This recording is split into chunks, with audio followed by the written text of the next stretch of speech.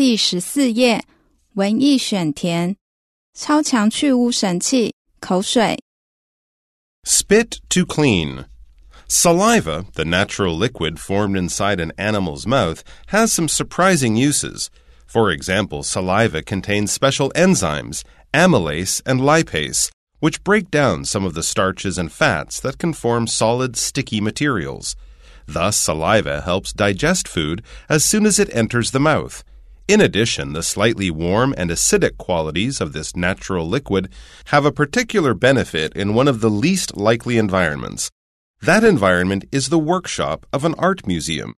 Priceless antique paintings accumulate dust and dirt over time, causing darker and less colorful surfaces. The problem for conservators, trained specialists who clean and preserve artworks, is how to eliminate the built up grime safely. They have many tools at their disposal. Surprisingly, human saliva is one of them.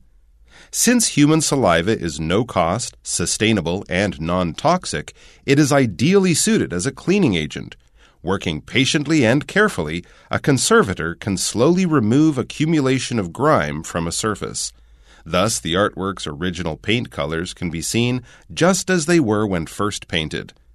Traditionally, a layer of varnish was applied to paintings as a protective coating.